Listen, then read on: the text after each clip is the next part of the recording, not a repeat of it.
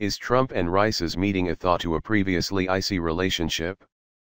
President Donald Trump met with former Secretary of State Condoleezza Rice Friday morning the first publicly reported face-to-face -face between the two since the election season and a tete-a-tete -tete which could signal a thawing of their previously icy relationship. After his meeting with Rice, Trump tweeted that he had a great meeting with a wonderful woman today, former Secretary of State, Condoleezza Rice. While the meeting with was closed to press coverage, White House Press Secretary Sean Spicer told reporters the two discussed regional threats, current foreign affairs hotspots, the battle against ISIS, as well as the challenges facing our country.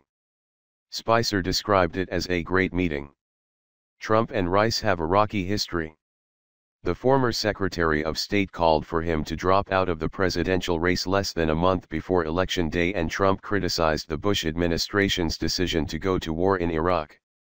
After a 2005 Access Hollywood tape showed Trump bragging about grabbing women without consent, Rice said enough. In a Facebook post and tweet in October, she wrote Donald Trump should not be president. He should withdraw. As a Republican, I hope to support someone who has the dignity and stature to run for the highest office in the greatest democracy on earth. Trump, for his part, was an outspoken critic of the Iraq War on the campaign trail, despite initially supporting the military action. As a presidential candidate, Trump repeatedly said that he was against the war before it started and offered lukewarm support for the military action in an interview with Howard Stern. However, he became critical of the war months after it began. In several campaign speeches he said that the United States would be better off if past presidents went to the beach instead of miring the U.S. In the Middle East conflict.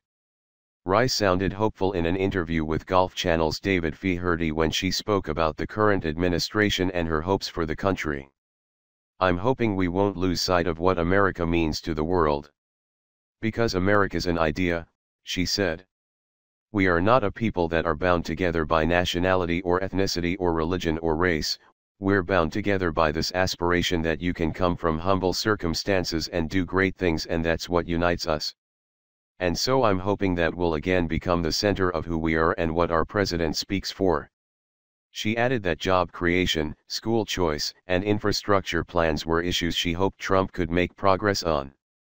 Trump himself has advocated a pro-school choice position and made job creation one of the cornerstones of his presidency. But Rice and Trump still diverge on one important issue, Russia. The former Secretary of State told Feherty that we're looking at an authoritarian regime under Vladimir Putin that has systematically taken away the rights that we enjoy.